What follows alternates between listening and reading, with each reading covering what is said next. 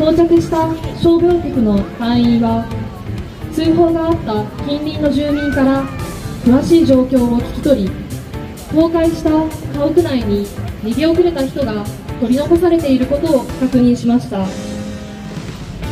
不用意に家屋内への侵入を行うと倒壊の状況から逃げ遅れた人に被害を及ぼす可能性があることから自衛隊、警察、消防が指揮本部に集結し活動方針を検討します。日本救助犬協会の倉山様救助犬は何個おりますか？2頭連れてきています。わかりました。建物内に火災の恐れがないため救助犬で2カ所の拘束をお願いできますか？わかりました。私も行きますので場所を指示してください。安全を確認して元にお戻りください。訓練です揺れが収まりました。周りの安全を確認して元にお戻りください。以上でテイクアウト訓練を終了します。ご協力ありがとうございました。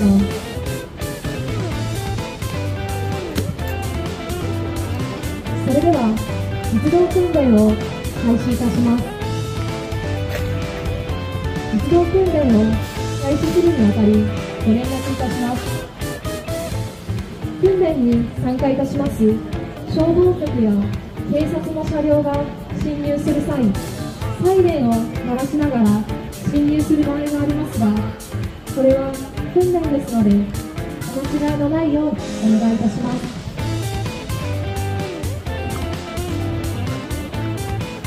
皆様正面をご覧ください。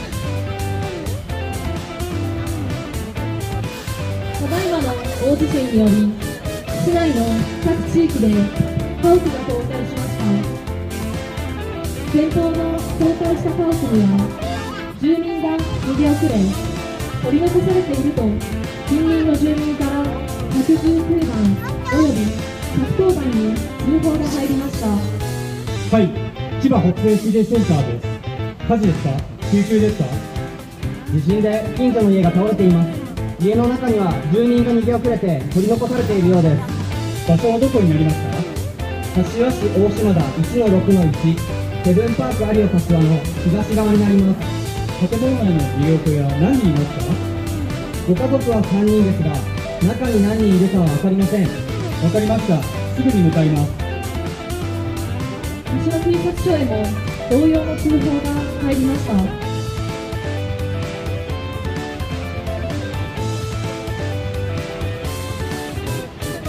柏市大島田地区で郵便配達業務を行っていた柏市内郵便局の職員が倒壊した家屋の付近を通りかかった際近隣住民から逃げ遅れた人がいると聞き取った情報を郵便局の対策本部へ報告し郵便局の対策本部から柏市の災害対策本部に通報が入りました。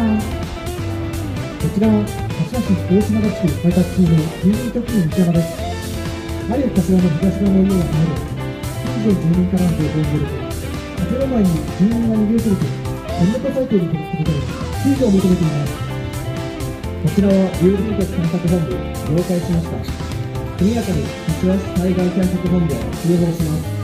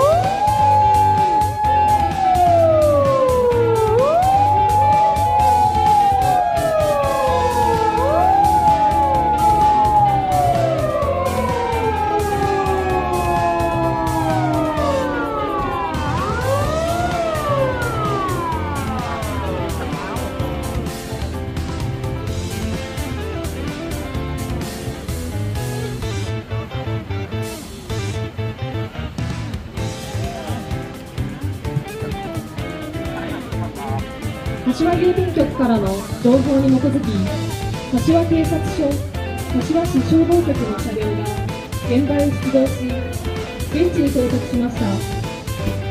柏市消防局の機体により目視で現場の状況確認を行っております。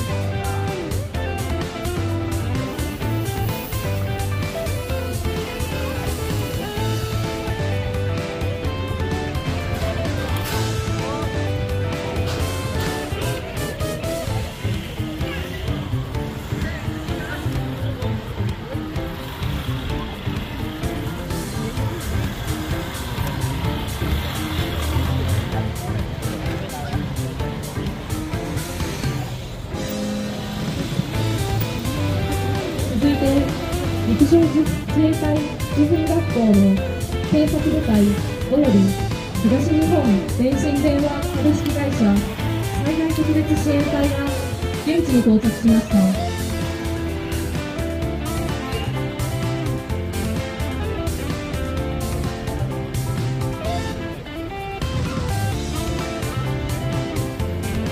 会場左のスマイルパーク側をご覧ください。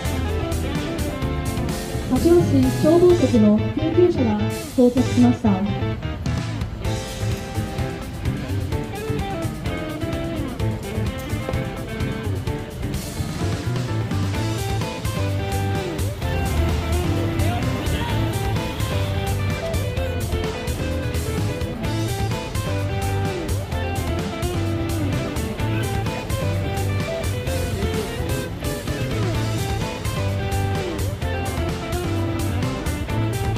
柏市災害対策本部は東海家屋内の下傷者を捜索するために日本救助犬協会チームセブンに支援を要請し現場に到着します。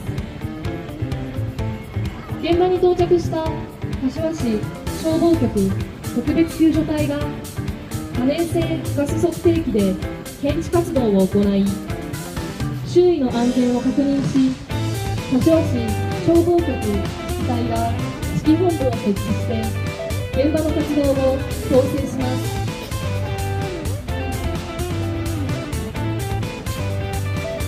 日本救助犬協会チームセブンの倉山です到着しましたお疲れ様です。柏市消防局の池原です。よろしくお願いします。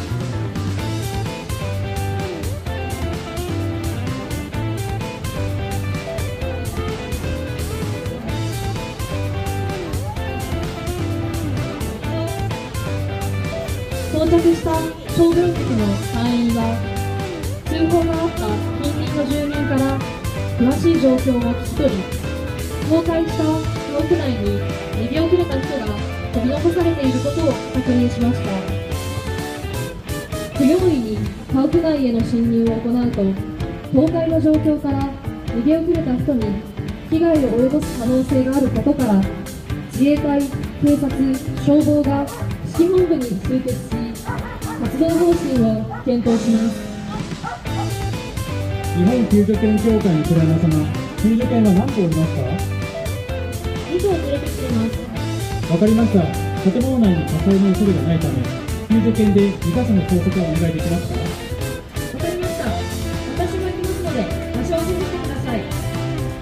了解しました。こちらにお願いします。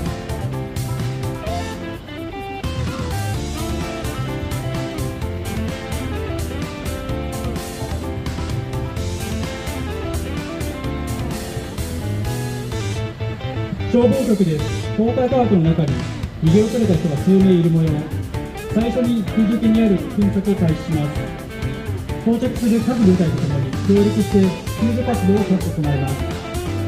自衛隊、警察、消防で倒壊家屋の中の視聴者を行動で救助を行います。地域の安全を確保確保するために、柏警察署の方で立ち入り禁止区域を設定してください。柏警察署、了解しました。消防局です近隣の防災士連絡会の支援をしてもらいましょう柏警察署です中に侵入するには周りの障害物を除去する必要があります柏市建設関連防災ネットワークにもご協力をお願いしましょう。柏市災害対策本部から首都圏防災士連絡会および柏市建設関連防災ネットワークに対し支援が要請されました。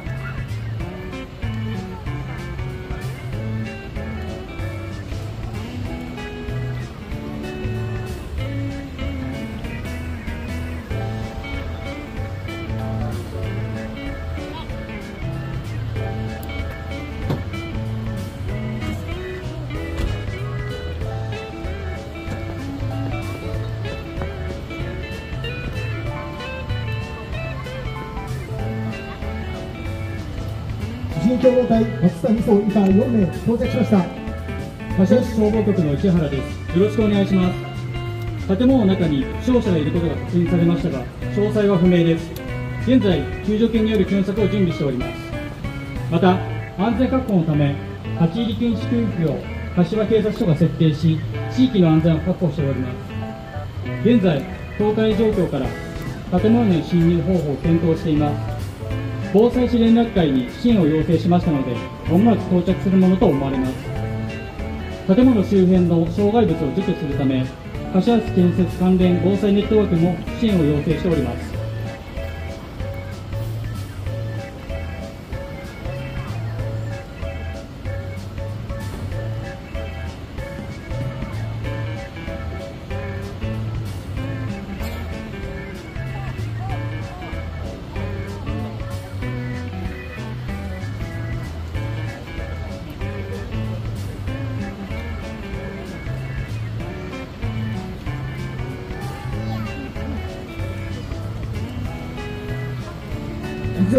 了解しました。柏市消防局で現場を指揮してください建物への侵入は自衛隊、警察、消防で行うことでよろしいですか？お願いします。柏警察署了解しました。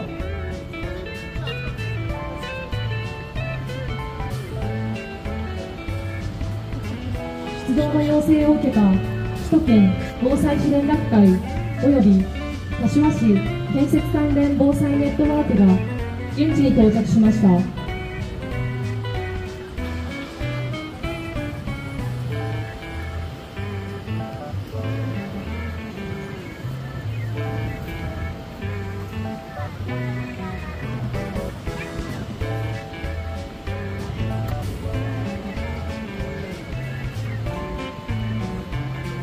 柏市建設関連防災ネットワークの吉田です。到着しました。防災士連絡会の石川です。到着しました。皆さんありがとうございます。柏市消防局の市原です。現場の指揮は消防局の指揮本部で行います。現在の状況ですが前方の倒れた家屋の中に逃げ逃げ遅れた人がいて救助を求めております。これから日本救助犬協会の救助犬による検索を行います。救助方法について自衛隊、警察、消防で救助方針を検討中です。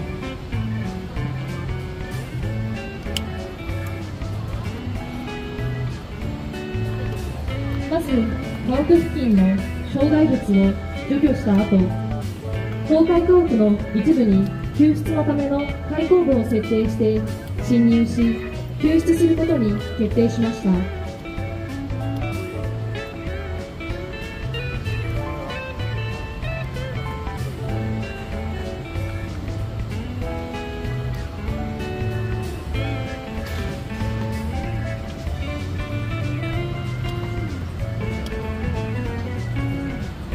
柏市建設関連防災ネットワークの吉田さん、建物付近の障害物の除去をお願いします。わかりました。建物に影響を与えないようにペイローダーで作業を行います。柏市建設関連防災ネットワークはペイローダーを活用し倒壊家屋付近の瓦礫材等の除去を開始しました。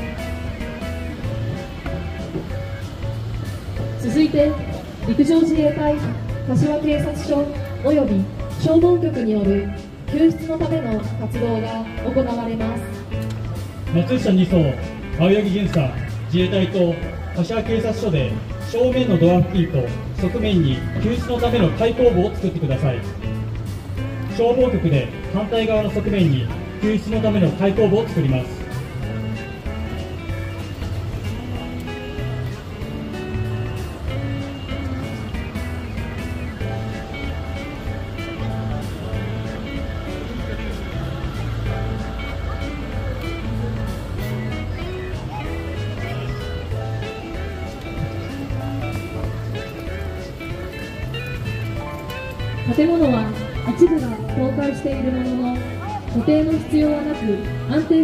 況です。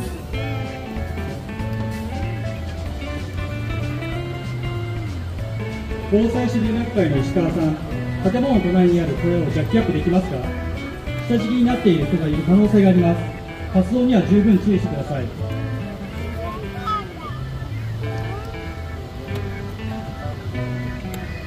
わかりました。ジャッキアップして小屋の中を確認します。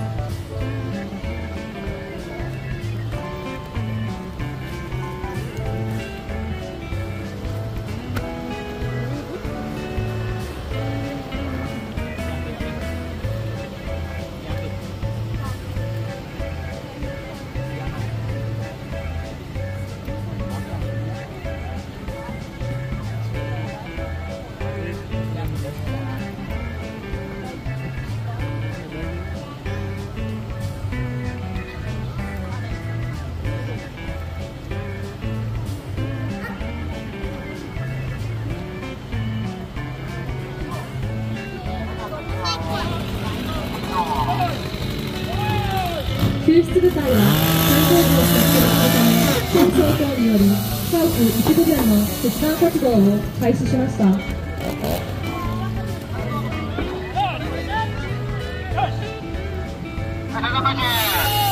た首都圏防災支援学会はジャッキを使いより安全に逃げ遅れた人を救出する準備を開始しました。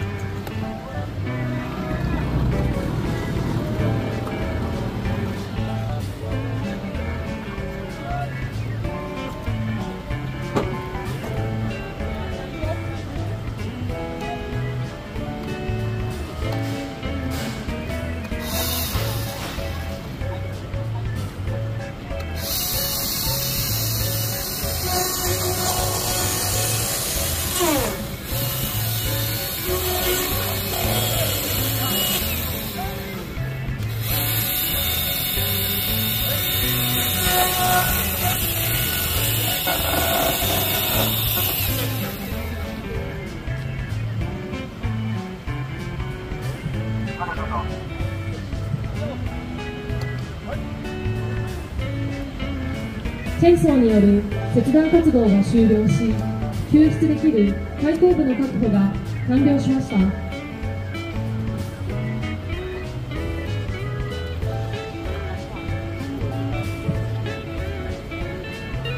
開口部から内部を確認し当該家屋が安定しているため救出部隊が家屋内に侵入します。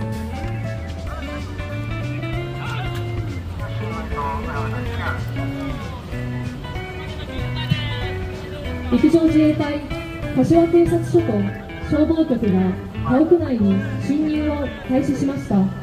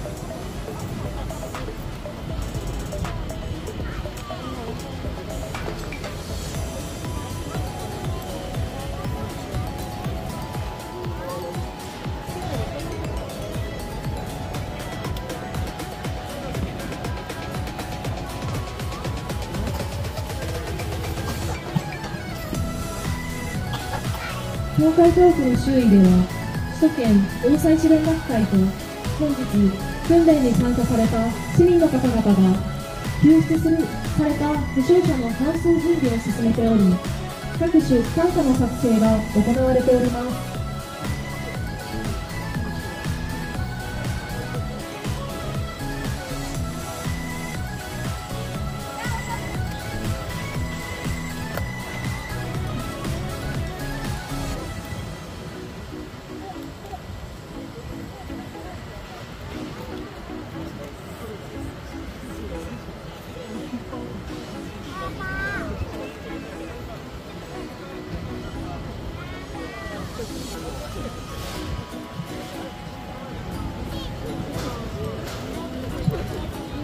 柏市消防局による建物内の負傷者の救出が完了しました。続いて陸上自衛隊柏警察署による負傷者の救出も完了しました。続けて首都圏防災士連絡会による負傷者の救出も完了しました。負傷者は4人いた模様です。要救助者は意識があり歩行可能で重傷ではないようですが担架で救急車まで搬送します。